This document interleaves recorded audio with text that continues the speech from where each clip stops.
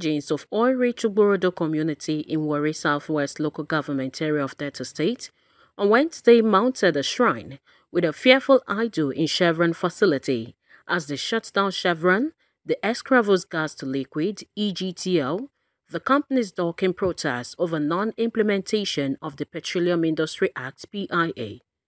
The protesters said the name of the idol is Ogbejugbele. They said it's not a threat to Chevron and its staff, but to let them know that their ancestors are angry with Chevron. They warned that Chevron should not take them and their idols for granted as they blocked the entrance into the facility.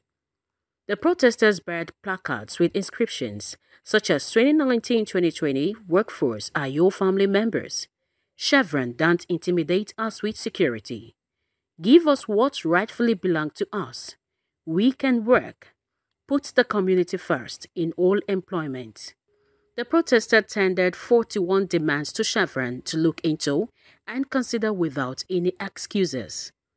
Amongst the demands is that Chevron should, as a matter of urgency, implement the Petroleum Industry Act PIA, implement the Ikpere Host Community PIA, as agreed by the National Upstream Regulatory Commission NURPC, as well as give employment to youths and people of Ugborodo and the Shekere indigents. In a chat with newsmen, Helen Uremure, a woman leader in the Ugborodo community, said they staged the protest because Chevron have failed in meeting with its corporate social responsibilities CSR to Ugborodo community.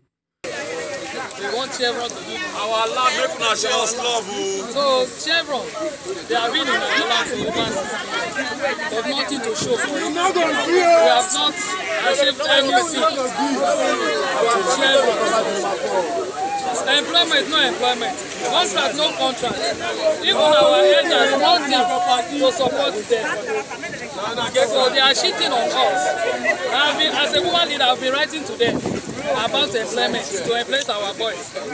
Then even some of our boys, they are graduates. To convert them, nothing. So they are just doing a labor job. We have been in this for a while now. It's a situation of whereby this, uh, they call it PIA. The worry people, we are all Shekiris. But as I'm talking to you, some set of persons, they want to asthmat us as an Ugborodo indigene. They want to asthmat us. In that process, a situation like, they said, host community. That's what they said regarding the PIA. They said host community. Was some set of persons here in, as a Chekiri people, they want to hijack the system to worry. But we we will not, we will not agree on that level. So, on that note, we have done this before. We came to Chevron, the same protest.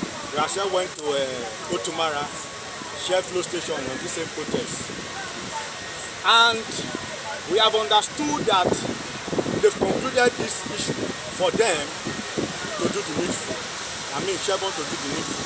But up to date, we've not done it. So that's why we say no. And that's the number one thing. That's why we say no. Let us come to this. Yeah, water, don't take them there. No stable water. No good No skill acquisition. No better school. Because then they say no better school. They said they would not leave Chevron's facilities until the federal government prevails on the oil multinational to do the needful.